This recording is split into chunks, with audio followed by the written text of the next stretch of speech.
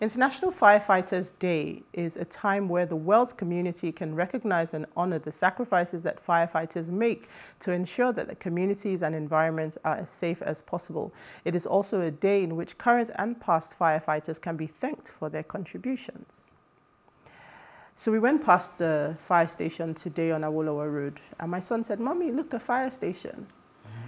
It almost doesn't cross your mind, at least for me anyway. Mm-hmm that we have fire stations yeah. I, because I'm used to in different places where fire stations are part of the, you know, you see them, you know, everywhere you go, you see fire stations.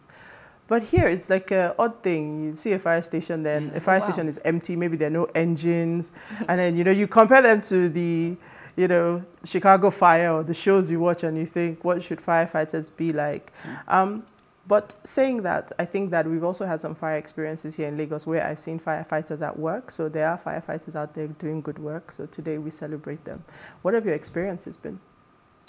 I don't know. I've not particularly had any, any experience with any, but I think that they're actually doing a very great job because mm. before, uh when I, I think so for real, because before when there's a fire, um, before they get there, the fire have finished. Absolutely. They have finished usual stories, there's no seen, petrol. Yeah, seen. there's no petrol to move the vehicle or there's no water. It's always one silly story or the other. But in recent times, when there has been fire, mm. even if they get there, maybe towards the end of the fire shower, but at least they get there. Yeah. I have to give it to the emergency services mean, in Lagos in particular. Actually, they've actually be been fair. trying. Yeah, well, they can do better. Yeah. I've never like, I don't know what seen, you guys are talking I about. I really don't know because I've never seen firefighters at work. So even in videos mm. where there are actually fire um, incidents happening. Mm -hmm I've only seen people around trying to put out mm. the hmm. fire, but not actual. You know, most actual times, firefighters. Most times, those videos are taken in the beginning in the beginning when those of, things happen. But even not, in the stories, I don't, eventually. I don't see where people say, "Oh, this, we know, this, but they are trying. We're not saying that they are doing. They are doing it perfectly. You know. You know, talking so, about even the fire stations. I hmm. served in Abeokuta and on the way to my house, there's this mm -hmm. fire station. When I first saw it, I'm like, oh, so there's, there's, a fire station here. and I pass there every day. And guess what? Every day I pass there, I always look towards the fire station because I'm just marveled that yeah. there's actually a fire station there. Yeah. So I think sometimes I'm just looking to see are there people there? There are people there. Is there anything happening? I want to see a fire engine yes. or a fire truck. I don't. I just see the truck. Most times it's for aesthetics. I just see it's the not, truck it's and it's looking very dusty. Mm -mm. But I don't see people at the fire mm. station. So I'm just like, huh, do these people actually work? Is there anyone there? If there's a fire now, with this work? Until I remember when um, they showed, I don't know if it was a governor or somewhere, a minister, who was supposed to commission a fire station. Mm -hmm. And then when they got there, I think about five, um, five fire trucks. When they opened the fire trucks, they were actually dusty there was no extinguisher inside. The normal things that you would find. He said, okay, open the tank. Let me see. There was no water oh inside. Oh so the question he asked them, I think even they were videoing live. And the guy said, wait.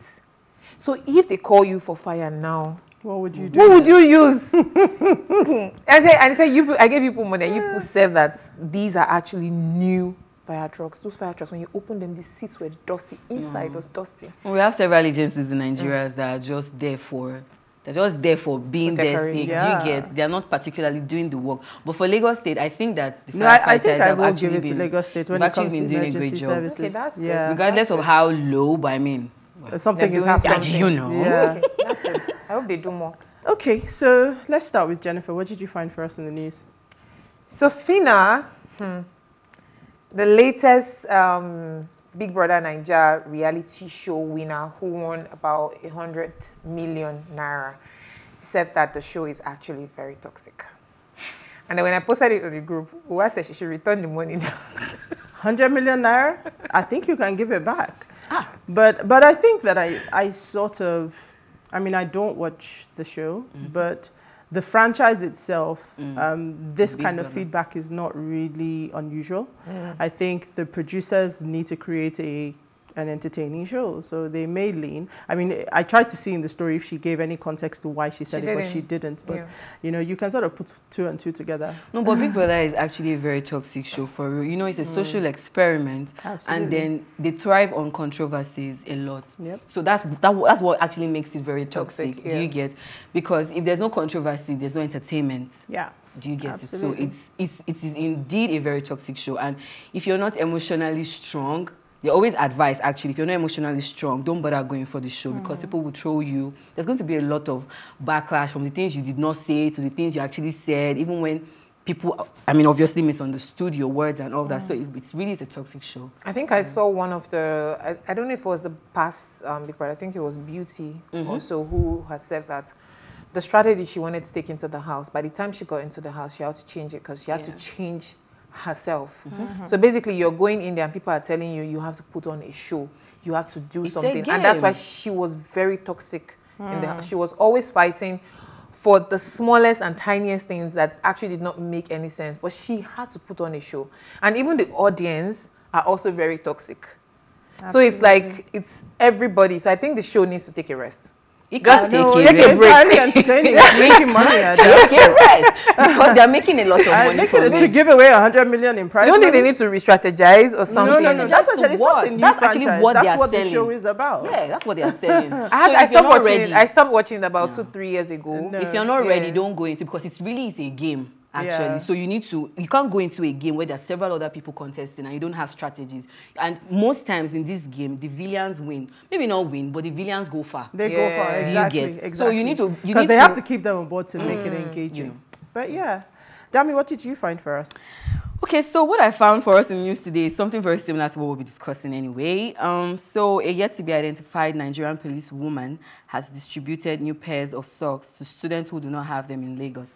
I mean, I think this is a very good act, considering that we're talking about security, you know, mm -hmm. police and non police. And well, you know, when we're talking about when we're talking bad about people, I mean, there's a good part that we should not leave out. So I would believe that this is this woman is one of the good Nigerian police officers or people sha in this country because I mean no, no, I mean, normal Nigerian police people, they you not see them give, giving out socks. Mm. What's their business if you don't have socks? Yeah. But I mean, this this woman's act could be from a place of being a mom, being a mother. Yeah. It could be from a place of normal, just basic human decency. But yeah. what she did is actually very good. There's also one woman's video that I always see online. I don't know if she's the same person. Yeah. But this woman, when she she um, crosses the children, so they have to literally pass beside her, and when she sees any one of them that is not properly tidy you know, she like tries to tidy them up, mm -hmm. dress properly. I think I've heard of that one, hair, I don't know yeah. if it's the same person. I don't know if it's the same person as well, but you know, things like that actually go a long way because for various reasons, some people probably don't even have parents at home. They don't mm -hmm. stay with their parents.